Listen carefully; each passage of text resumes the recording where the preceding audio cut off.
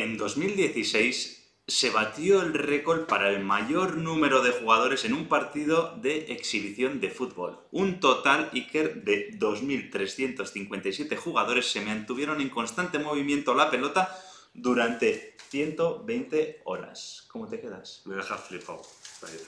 Hostia, tengo que ser eso, la leche. Trabajo en equipo, coordinación. Vamos, y hoy tenemos golazos de productividad y hablaremos del trabajo en equipo. Sí, sí que esta semana nos toca hablar de trabajo en equipo. Pero antes, Iker, la semana pasada hablábamos de la gestión del tiempo y también nos fijábamos en el fútbol para aprender de ello. ¿eh? Tuvimos también unas interesantes lecciones de fútbol ¿eh? Sí. y la gestión del tiempo. Bueno, ¿Qué te volvemos, parece? me ¿Qué te parece muy bien, Iker, me parece muy bien y por eso seguimos con la serie de golazos de productividad. Sí, señor.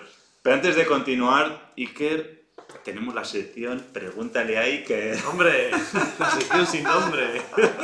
Pregúntale a Iker, me gusta, ese me gusta, Me mira, gusta, vamos a ponerle. Bueno, tenemos aquí una pregunta hoy de Carlos al hilo de lo que, de lo que vamos a hablar. ¿vale? Vale, sí. Entonces, pregunta Carlos, ¿cuál es la estrategia más efectiva que has utilizado para fomentar la colaboración y el trabajo en equipo dentro de tu equipo de trabajo, Iker? Vale. Es una buena pregunta, Carlos.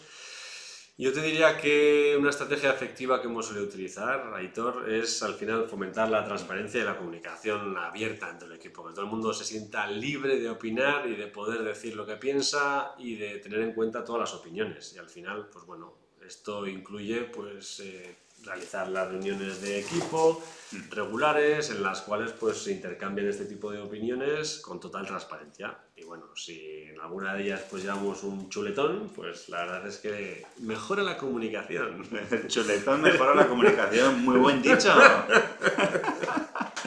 bueno, Iker, ¿y qué más tenemos que decir aquí? Que si además, esto para los tendencieros, creéis que merece la pena mejorar el trabajo en equipo dentro de vuestra empresa, pues ya sabéis, contactar con Iker, ¿eh? BLD Mendizábal, ¿eh? y lo podéis contactar pues, en LinkedIn o vía Tendencieros Industriales, y él os va a ayudar a mejorar el trabajo en equipo dentro de vuestra empresa. Mándame un mensajito y hablamos. Bueno, ¿qué más? Recordaros también que nos podéis encontrar en tendenciosindustriales.com, en Instagram, en YouTube, en todas las plataformas de podcasting existentes, iBox, Spotify, Apple Podcasts, en la que prefieras, ahí estamos. Y además, ¿eh? si quieres aumentar tu productividad, tu liderazgo, tu marca personal, tenemos una nueva newsletter que se llama Liderazgo Profesional. ¿eh? Y os podéis entrar ahora mismo en la página web liderazgoprofesional.com y apuntaros. ¿eh? Ya sabéis que os podéis unir gratis y salir cuando queráis. Y sin más, Iker, ¡arrancamos motores! Ya lo hemos dicho, hoy vamos a hablar de trabajo en equipo y qué mejor forma de hacerlo que basarnos en el fútbol, ese deporte que a todo el mundo le gusta menos a Aitor. y está claro que el trabajo en equipo es una habilidad fundamental tanto en el ámbito deportivo, en este caso si hablamos de fútbol, como en el ámbito laboral. Al final el fútbol pues, es uno de los mejores deportes para ejemplificar, digamos, este, esta colaboración colectiva, ¿no? Entonces, en el campo, en el terreno de fútbol, pues bueno, se ven el grupo de jugadores y cada uno tiene sus roles, sus habilidades distintas y al final pues la idea es ir remando todos en, el mismo, en la misma dirección para ganar el partido. Iker, tú hay que decir que yo no soy muy apasionado de ver a 11 tíos en calzoncillos pegándole patadas a un balón, ¿vale? Entonces, pues bueno, pues me parece muy bien, lo respeto, ¿eh? Algún partido me veo, pero ya, pero nada más, ¿eh? Pero sí que es cierto que, oye, es un ejemplo claro de trabajo en equipo y por eso lo hemos traído aquí. ¿eh? Sí, señor, sí, señor. Y, y bueno, lo que hay que decir es que más allá de los goles y de las espectaculares jugadas que nos pueden hacer esos maravillosos jugadores de fútbol que no voy a nombrar, pues bueno, podemos sacar importantísimas y valiosas lecciones en aspectos como son la colaboración, la distribución de los roles, la comunicación efectiva, el liderazgo, la motivación y todo ello, pues oye, nos permite superar los desafíos en equipo. Y hoy, pues bueno, vamos a hablar de estas cosas que hemos comentado hoy, ¿eh? Ya sabéis, seguirnos, ¿eh? Para hablar de todas estas cosas. Entonces empieza ahí, que a ver, la primera. Arrancamos, colaboración, has dicho, ¿no? Empezamos por la Colaboración. Bueno, la colaboración, pues es esa palabra clave que hace que todo engrane perfectamente y funcione a la perfección, o por lo menos eso es lo que creemos, ¿no? Al final el fútbol sí que nos enseña que es clave eh, que haya colaboración y la conclusión que podemos sacar es que en el entorno laboral pues nos pasa lo mismo. En el fútbol los jugadores pues trabajan ¿no? en conjunto para lograr un objetivo común, porque si cada uno hiciera sus objetivos, el delantero allí a meter goles, bueno, el defensa igual también quiere meter goles, pasaría en la tele, todos ahí unos chupones de la leche y nada, estaría el defensa sin rascar bola y, y- y al que no le gusta defender, pues sin defender y el portero pues igual le gusta meter goles de cabeza y subiendo al córner ahí a rematar. Así es, es muy importante la colaboración en el fútbol, por eso que has dicho. bueno, alguna vez hemos visto de porteros rematando de cabeza en, en el último minuto, no sé qué. Bueno, hemos visto de todo, pero bueno, lo que está claro es que cada jugador pues tiene que tener su rol. ¿eh? Pues el delantero, pues el delantero se tiene que encargar de buscar el gol. El que está en el centro de campo, pues bueno, distribuir los pases, ¿no? Repartir ahí entre todos ellos el juego. El defensa, pues oye, proteger la portería. Y el, y el portero, pues oye, defender de que no le meta ningún gol, por supuesto. Y todos deben estar trabajando en una sintonía, colaborando entre ellos y apoyándose mutuamente. Y lo mismo ocurre en el mundo laboral. Al final, aunque no tengamos un balón de fútbol, que podría ser una buena idea, eh, volando por el aire en la oficina, el trabajo en equipo pues, es muy importante. Porque si no, imagínate aquí al jefe tratando de meter un gol ahí en la oficina mientras todo el departamento de ventas está dando vueltas ahí por la oficina, ¿no? Y los de finanzas ahí haciendo cálculos ahí, los capis en el este, a ver cuántos goles hay que meter para conseguir los objetivos trimestrales. Pues no, aunque haya jefes que les guste salir en la foto y, y besar el trofeo, eh, cada uno tiene que dedicarse a lo suyo. Hombre, esto de llevar el balón a la oficina podría ser una actividad de team building. ¿eh? También, también. Pero eh, no acabo de ver yo pegar balonazos dentro de la oficina. ¿eh?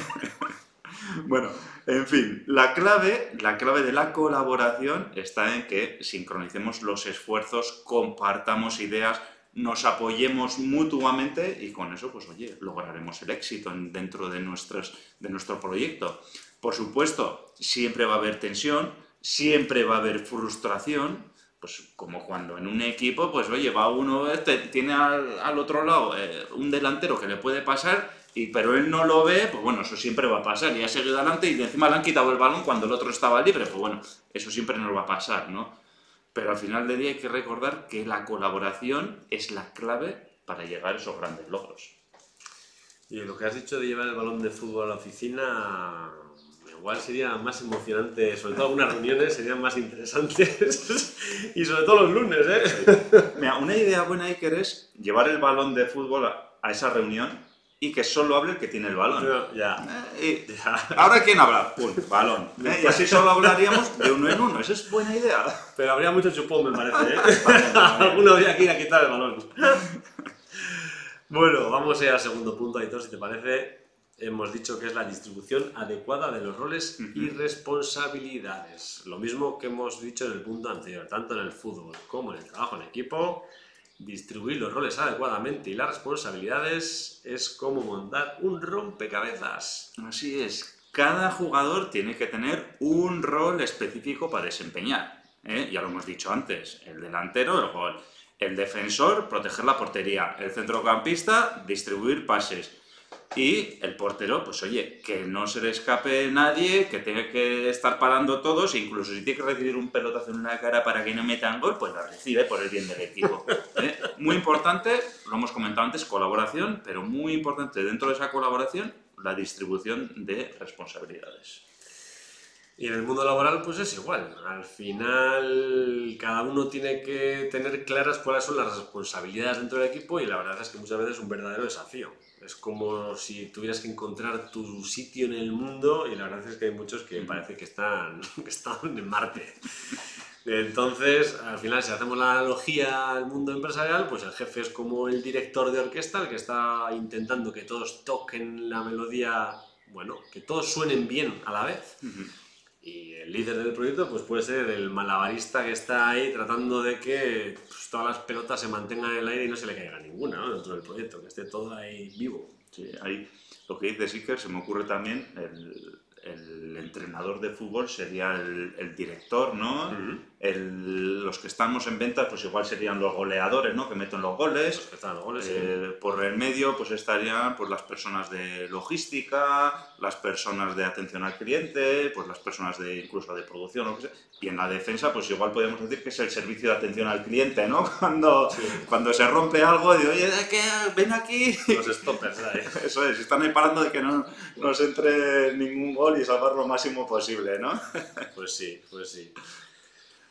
Bueno, pues eso, eh, lo que hay que tener en cuenta es y que luego siempre en todos los equipos eh, hay alguno que no se entera de nada también, que eso también tenemos, eh, que, que están las nubes ahí. Está mirando al techo, pues sí, señor.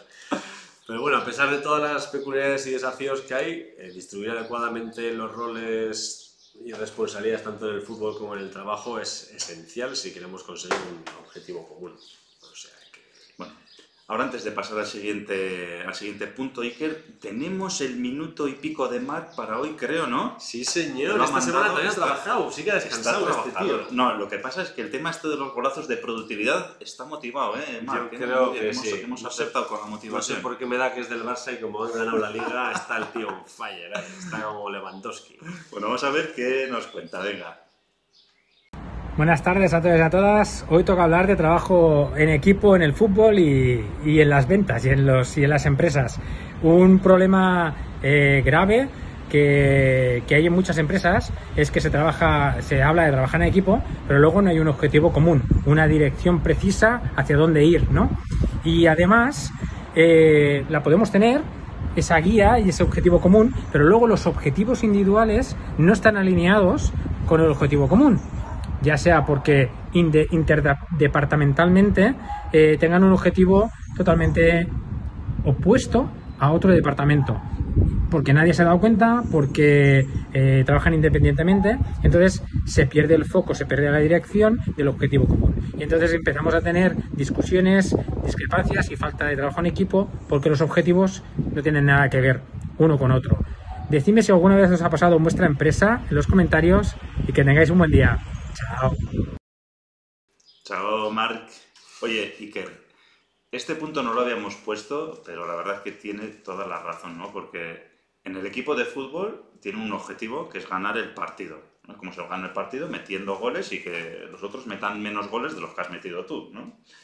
Eh, y en las empresas, ¿qué es lo que pasa? Que tenemos un objetivo común, pues muchas veces no. Muchas veces el departamento de compras tiene su objetivo de bajar costes, aunque eso implique bajar la calidad. El objetivo de ventas tiene que incrementar los ventas, las ventas, aunque eso suponga ajustar los márgenes al mínimo. eh, y, cada uno tiene sus propios objetivos, ¿no? Y el de atención al cliente igual tiene sus objetivos de atender las llamadas en, rápidamente y sacarlas y por sacar rápido pues igual no está dando la calidad adecuada, ¿no? Por decirlo, por decir algunas cosas, ¿eh? No sé, un buen punto es que, el que dice Marc. Yo he visto, de hecho, este caso en muchas empresas distintas, eh, que cada departamento sí tiene su KPI concreto de definición y al final no están alineados con el objetivo final. O sea, tanto el departamento técnico que puede estar obcecado en responder lo que has dicho rápidamente a las consultas técnicas en lugar de buscar si, esas, si tras esas consultas hay negocio, departamentos financieros que pueden cortar costes y al final, ostras, si tienes un objetivo de facturación, claro, bajar los costes es fácil, todos a tomar por saco. Claro, ¿y quién va a vender para conseguir esos objetivos de venta, no? Entonces, la verdad es que lo que ha dicho Mark es muy interesante porque tiene que ir todo engranado. Y aquí, Iker, ahora encima que hemos pasado ya recientemente las elecciones y todo esto, voy a meter una cuña porque, al igual que los equipos de fútbol, su objetivo es ganar el partido. ¿Cuál es el objetivo de una empresa? Ganar dinero. O sea, ganar dinero, tener unos márgenes altos. Y esto lo digo porque en el mundo de los políticos se echan las manos a la cabeza porque no, es que esta empresa gana mucho dinero. Y yo, coño, es que si no ganaría mucho dinero, no podría contratar más gente, no podría invertir en nuevos puestos de trabajo, no podría invertir en nuevos medios. O sea, ¿qué quieres? ¿Empresas que pierdan dinero para...? Entonces esas empresas que pierden dinero van a cerrar. O sea, sí. Tranquilo que tenemos otra vez de nuevo elecciones y saldrán otra vez estos empresarios explotadores que no hacen más que ganar dinero. Qué, qué desgraciados, madre mía. ¿Cómo, cómo puede pensar la gente así? Por Dios, no me, no me tires que me calientas ahí. Venga, vamos a hablar del siguiente punto, que es la comunicación efectiva. Al final, lo mismo que hemos dicho antes. La comunicación efectiva vale tanto para el fútbol como para el trabajo y es fundamental. Muchas veces ocurre que los mensajes se pierden por el camino y otros se malinterpretan. Esas veces que mandamos los mails cuando no tocan y, lees el mail y lo lees en un tono que no es el que corresponde, ¿no? Y al final, pues bueno, se puede llegar hasta discutir el tema simplemente por un malentendido. Esto viene muy ligado a la comunicación efectiva con la colaboración, ¿vale? Pero no es exactamente lo mismo. Se puede distinguir fácilmente porque tú puedes colaborar perfectamente con tus compañeros, pero si no tienes una buena comunicación, ¿qué es lo que puede pasar, no? Que diga el defensor del equipo, oye, marcarme a ese, y resulta que el otro no le ha oído y se va a, meter goles, ¿no? Eh, Entonces, pues bueno, eh, hay que, ha- hay que tener una buena comunicación para que todos vayamos en la misma dirección, ¿no? Que si dice marcar a ese, sea marcar a ese, no marcar al otro. Pues sí, en el trabajo en equipo, eh, lo que hemos dicho, la comunicación efectiva mm, es muy importante, pero puede ser un reto, puede ser una aventura. Hay correos electrónicos que se pierden en la bandeja de entrada. Al final te llegan mil correos electrónicos y archivar, archivar y fuera.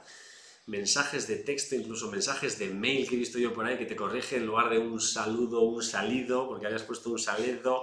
Bueno, al final pueden llegar muchos malentendidos y los compañeros de trabajo del equipo flipando en color diciendo como, ¿qué nos ha dicho este tío? Esto, la verdad es que pasa muy a menudo. Además, esos correos, en algunas ocasiones ininteligibles, que no sabes por dónde agarrarlo, empiezan, te meten una parrafada sin espacios, sin comas, sin puntos, y dices tú, ¿y qué quiere decir? Pues es una parte de la comunicación efectiva también, no solo la comunicación verbal, hablamos, también la, la escrita.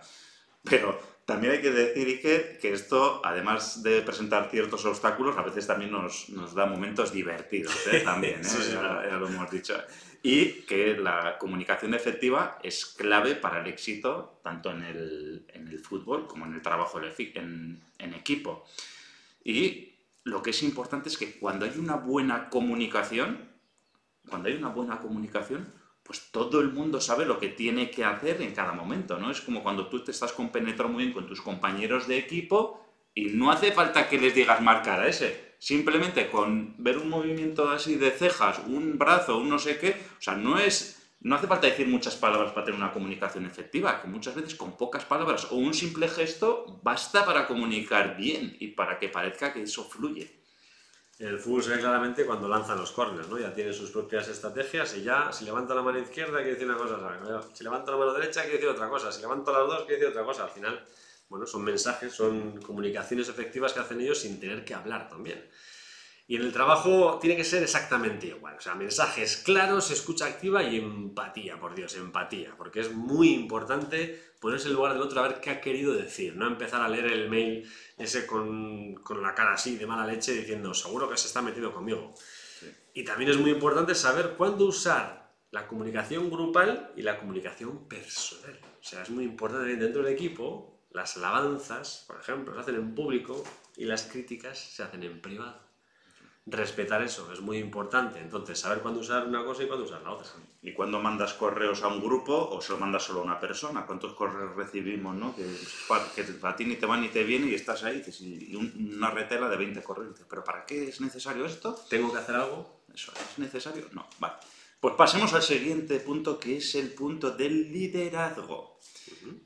Obviamente en el fútbol, pues todo el mundo conocemos el papel del líder, ¿no? Del capitán del equipo, que suele ser el líder, ¿no? Y en el trabajo en equipo, pues también es esencial tener ese papel de líder, ¿no? Tanto en el fútbol, pues el líder del equipo, pues es el que está buscando los goles y las victorias, ¿no? Y en el trabajo en equipo, pues el líder, pues también es el que está buscando los goles y las victorias en el mundo laboral. Sí, al final en el trabajo un líder que podemos llamarle efectivo, en nuestro caso, tiene que ser capaz de mantener el equilibrio ¿no? de las responsabilidades de cada uno, de las peculiaridades de cada uno, de los egos inflados, de a mí me gusta hacerla así, a mí me gusta hacerla así. Tenemos que tener claro que cada uno es distinto y es importante saber poner a cada cual en el rol donde más éxito puede sacar para el equipo. También es importante que el líder sea capaz de apartarse a un lado y que, que brillen los demás. O sea, que si llega el pedido ese gordo que llegábamos todos empujando, no te pongas tú la medalla, no te la pongas, que se la ponga el que corresponde. Al final, y también es muy importante que un líder efectivo traiga un buen chuletón para mejorar la comunicación. Eso es lo más importante, porque como has dicho antes, un Eso buen es. chuletón... Mejora ¿eh? la comunicación. Eh, efectivamente. y luego también, eh, importante recordar que el liderazgo va de inspirar, va de moti- motivar y va de guiar al equipo hacia la meta. No va de mandar y de hacer esto y al otro, no, va de inspirar ¿no? y de motivar incluso. eh, y esto es aplicable aunque tengas un equipo que esté un poco desentrenado o que esté un poco desincronizado, ¿no? Pero ahí está el, el trabajo del líder, ¿no? De liderar, de inspirar, de motivar, de guiar. Si alguna vez, Aitor, tienes dudas de si realmente eres el líder y el equipo te sigue a todo, lo mejor es que cojas y vayas a la máquina de café. Y si todos van detrás tuyo, eso está hecho. Pues muy bien. Eh, entonces, si, esto te pasa, es que eres un buen líder, ¿no? Que te siguen a la máquina de café. Porque un buen líder, además de inspirar, motivar y guiar, pues también tiene que tomarse un breve descanso, tomarse un café para y disfrutar de ello. Y, dicho esto, pues ya sabéis que en tendencierosindustriales.com nos podéis invitar a café a Iker y a mí, que nos gusta mucho el café, ¿vale? Y seréis unos líderes pues, pues muy, muy buenos. Sí, sí, sí. Si nos invitáis a café vais a ser súper líderes. Muy efectivos. bueno, vamos al punto número 5. Aitor, si te parece. La motivación. Muy importante. La motivación y el fútbol. Y el fútbol y en el trabajo en equipo, la motivación es crucial para conseguir el éxito y lograr los resultados que queremos y que la empresa quiere de nosotros. Y entonces en ambos sitios la motivación, que hay que traerla de casita, nos impulsa a nosotros a dar lo mejor de nosotros mismos y así ser capaces de pues, superar los desafíos que tenemos y trabajar pues, con codo con los colegas y hacerlo todo pues, en una armonía común. Eso es. Iker, sobre la motivación tenemos que hacer un podcast. ¿eh? Y eso que has dicho está bien, pero lo podemos discutir ampliamente. ¿eh? Porque me, me gusta, la motivación hay que traerla de casa, hay que ser gente motivada, pero el líder del equipo no tiene que ser un desmotivador. Eso es verdad. Eso es verdad. Entonces, bueno, hay mucho que Hay hablar. auténticos profesionales desmotivadores, ¿eh? Anti-coach. Hay, hay- hay Eso muchos. eso. Bueno, y la motiv porque la motivación al final es ese combustible que enciende la pasión de los jugadores de fútbol y de los trabajadores, ¿no? La motivación es ese fuego interno que nos impulsa a correr más rápido cuando estamos corriendo detrás del balón, a que persigamos, que hagamos esa llamada de seguimiento que de otra manera esto no sirve para nada, pues no la hago, ¿no? Pues esa la motivación es la que nos impulsa a hacer esa llamada de seguimiento para conseguir ese pedido. Eh, la motivación puede provenir de diferentes fuentes, ¿no? Del, en el caso del fútbol, pues la- el deseo de ganar ese partido, de meter un gol, de ganar el campeonato, ¿no? Y además también en el fútbol, pues, ¿qué es lo que hay también cuando están jugando un partido de fútbol? Pues ahí, el, el- en el caso del el doceavo jugador, ¿no? En el caso de- del fútbol, ¿no? Está la grada de los aficionados que están ahí animando el público, ¿no? Es el, el- el- ese jugador extra que tienen y, y que tenerlo a tu favor, pues también te da una motivación extra, ¿no? Es muy importante también, ¿eh? Pues sí. Y en el tema laboral, el trabajo en equipo, al final la motivación es esencial para mantener a todos los miembros del equipo enfocados y comprometidos y a tope de power. Al final, cuando estás motivado, pues estás dispuesto a asumir más desafíos, aportas más ideas, trabajas en equipo. Al final, esta motivación pues, puede venir de la satisfacción personal de conseguir tus metas o, o por el reconocimiento del equipo o de tu responsable o la pertenencia incluso a un equipo exitoso. Pues la motivación puede venir de muchos sitios. Es muy importante. Cuando el equipo es bueno, los, grupos, los individuos del equipo también están mucho más motivados. Y hay que señalar también que la motivación puede variar de una persona a otra. O sea, yo puedo tener unas motivaciones para un fin y tú para ese mismo fin puedes tener unas motivaciones que sean totalmente diferentes a las mías. ¿eh? No voy a entrar ahora al detalle, pero yo que sé, igual mi objetivo es reconocimiento y tu objetivo es ganar más dinero. Puede ser, ¿no? Cada uno tiene una motivación di- diferente, ¿no? Eh, y algunos pueden sentirse, por lo que hemos dicho, o por superarse a sí mismo, otros pueden encontrar en el trabajo en el equipo, bueno, pues hay que ver eso y lo que está claro es que hay que fomentar una cultura de motivación dentro de la empresa. Tal cual, pero lo que hemos dicho antes, la motivación no solo son factores externos, ¿eh? también puede venir de nosotros mismos y de la actitud que tengamos en cuanto a ante los retos. Al final, mantener una mentalidad positiva y establecer metas realistas, pero que sean a su vez desafiantes, pues es, es importante para, para, mantener motivación. Y una cosa que no solemos hacer, y es importante también para mantener la motivación, es celebrar los éxitos o los mini éxitos, porque al final sí que estamos acostumbrados a, hemos conseguido el pedido de ese gordo, vamos a celebrarlo, ya, pero y todos los pasos intermedios que hemos ido haciendo bien, ¿por qué no los celebramos también para seguir enfocados?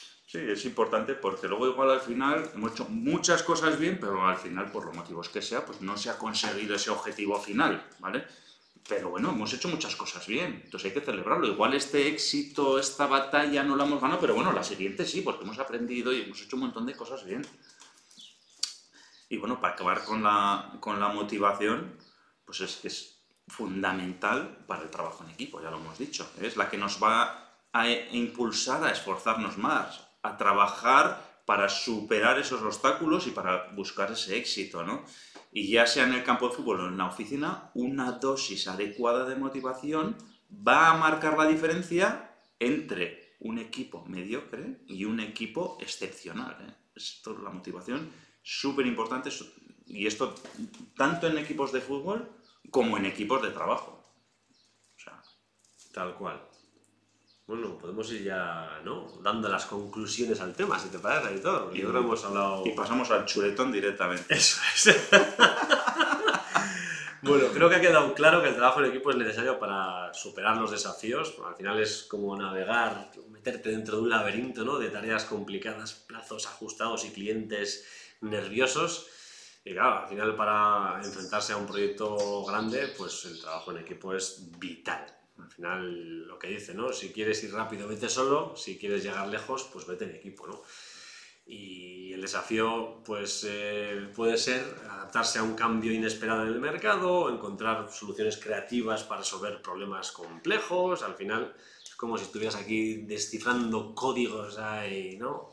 complejos en la guerra, los enigmas en las guerras hay. y lo que hay que decir, hemos hablado, Iker, de fútbol, de, por eso llamamos golazos de productividad, de trabajo en equipo, pero cuando tenemos desafíos, como hemos dicho antes, a veces hay fracasos, ¿eh?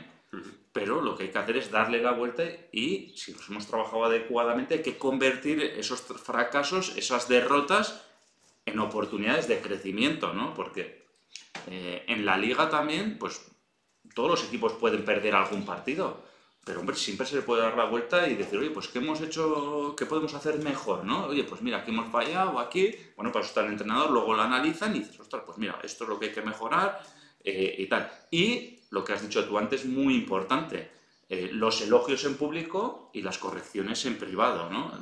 Ese defensor que le han hecho, la regateado el delantero y ha metido gol, y dice, oye, pues eh, bueno, pues nos han metido un gol, no pasa nada y, vamos todos, le arropamos y, a mejorar y a seguir el partido porque ahora tenemos que defender mejor y es más, tenemos que meter en vez de uno dos goles para ganar el partido y esa es la actitud.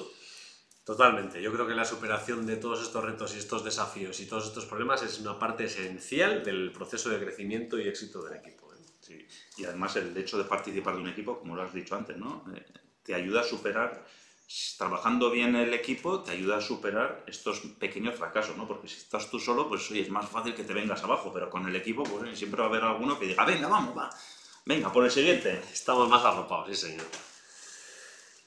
Pues nada, Iker, hasta aquí el reto de hoy, ¿qué te ha parecido? Me ha gustado, ¿eh? Me ha gustado el trabajo en equipo y el fútbol, la comparativa con el entorno laboral.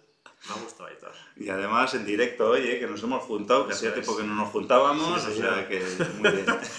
bueno, ya lo he dicho, Aitor. Aunque no estéis aquí con nosotros, nos podéis invitar a un café en tendenciosindustriales.com. Además, si quieres hacerme una pregunta o quieres dejarnos un comentario a los dos, aportar tu experiencia, lo que sea, entra, comenta en la web, en el podcast, donde quieras, porque el resto de tendencios te lo van a agradecer. Así es, y sabéis que podéis además ayudar a más personas, que esto se trata de ayudar, ¿eh? dándole al like, cinco estrellas, recomendando, pasándolo por WhatsApp al grupo del trabajo. Al de amigos igual no, porque igual te van a decir que eres un poco pedante, ¿no? Pero bueno, le dais cinco estrellas al contenido para que aparezca más gente, suscribiros para estar al día de nuevos episodios y sin más, tendenciero, tendenciera. La semana te espera. Chao.